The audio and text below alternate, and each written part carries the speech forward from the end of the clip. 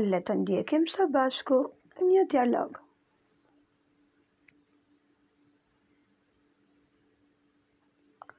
A pyeti ndo një për mua? Po, dikush erdhi e të kërkoi, por asnjeri këtu nuk e njohu. La gjësend për mua? Jo, nuk la asgjë Nuk i pamë gjë në dorë. Nuk i la askujt një porosi për mua? Jo, kurrgjë. A ju kujtohen se si emërtohen fjalët e nënvizuara? Besoj se u kujtuat se kemi të bëjmë me përemrat e pacaktuar. Tema e sotme do të jetë pikërisht përemri i pacaktuar. Përemri i pacaktuar është përemri që tregon frymorë a sende në mënyrë të pacaktuar ose sasi të pacaktuar të tyre. Kuptimi i përemrave të pacaktuar nuk ka nevojë të shpjegohet nga konteksti apo situata e ligjërimit.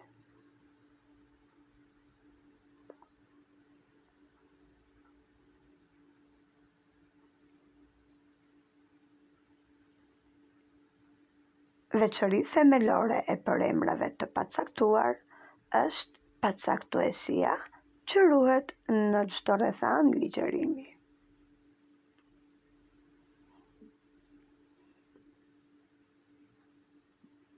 Përemrat e pacaktuar janë të shumëllojshëm. Disa prej tyre tregojnë frymorë, dikush, askush, njëri, sekush, secili, asnjë, etj.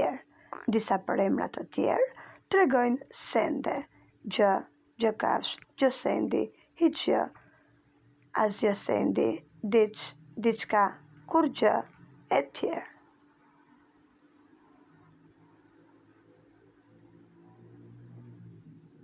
Përemrat e pacaktuar ndahen në përemra të ndryshueshëm, kush, dikush, asnjëri, njëri, secili, etj.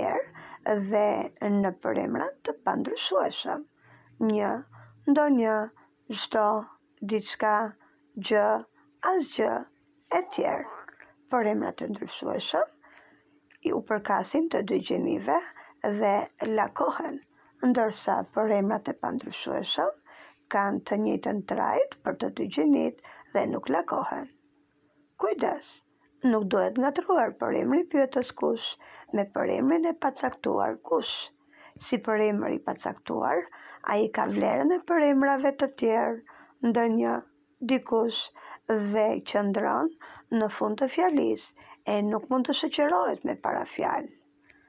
Në ardh kush, ma njofto. Në këtë shembull, përemri kush është përemër i pacaktuar. si përemër pyetës, përdoret vetëm për të pyetur, qëndron në krye të fjalisë dhe mund të shoqërohet me parafjalë, Kush do të vijë me mua? Me kë do të nisem?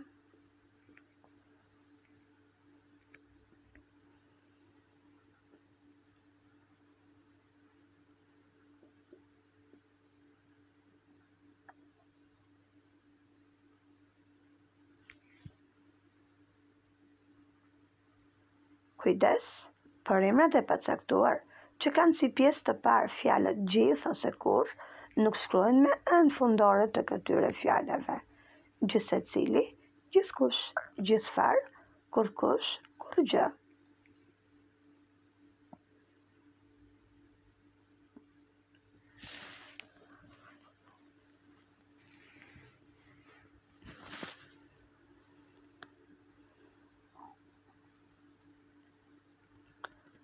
shkruhen me vizë në mes përemrat e pacaktuar, njëri-tjetrin, shoku-shokut, lloj-lloj.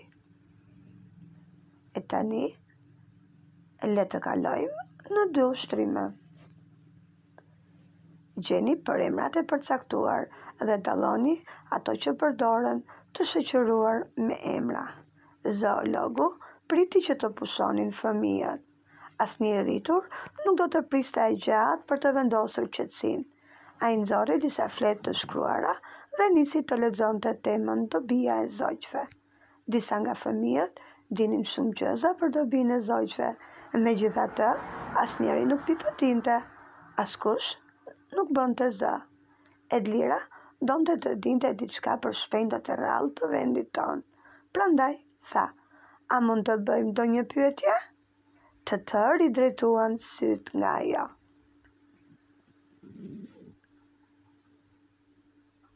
Ushtrimi tjetër kërkon që të vendosni përbri përemrit të dhënë, përemrin e gjinisë tjetër, nëse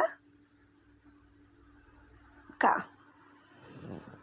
askush të tjerë, gjithkush, çdo, secili, njëri, kushdo, të gjithë, disa, ndonjë, ndonjëri, çfarëdo, asnjë, cilido shumëkush të tërë tjetri. Kjo ishte tema e sotme e ju falenderoj.